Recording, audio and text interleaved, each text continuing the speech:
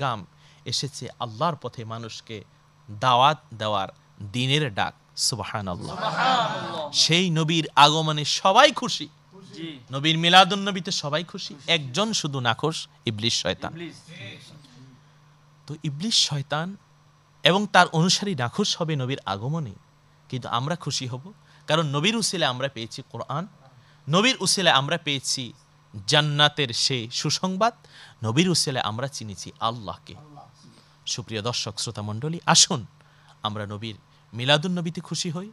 আল্লাহ আল্লাহ রসুলের পথে চলি। আমি এখন আমাদের সম্মানিত শ্রোতা প্রশ্নকারীর কাছে যাব। আশা করি আপনি আপনার প্রশ্নের উত্তরটি বুঝতে পেরেছেন। আলহামদুলিল্লাহ, হুজুর যেভাবে কোরআন ও হাদিসের আলোকে সুন্দর করে মিলাদুন নবী সম্বন্ধে আমাদের জানালেন, আমরা অবশ্যই অবশ্যই আমার দিলের থেকে বলছি যে আমরা কিছুটা বুঝতে পেরেছি এবং আমল করে আমরা জান্নাতি হতে পারব, এটা নিশ্চিত পেয়েছি।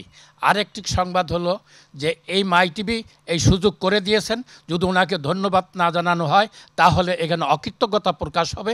আমি মাই টিভির পক্ষকে, সকলকে আমার এবং এই মাহফিলের পক্ষ থেকে অশেষ ধন্যবাদ জানাই এবং তাদের প্রথম থেকে পর্যন্ত যতগুলো মাহফিল হয়েছে সবজন আল্লাহর পক্ষ থেকে আবাদত হিসাবে কবুল করেন, এই আবদার আল্লাহর কাছে রাখলাম। আলহামদুলিল্লাহ, আমিন আমিন আমিন। আমিন, আলহামদুলিল্লাহ আলহামদুলিল্লাহ।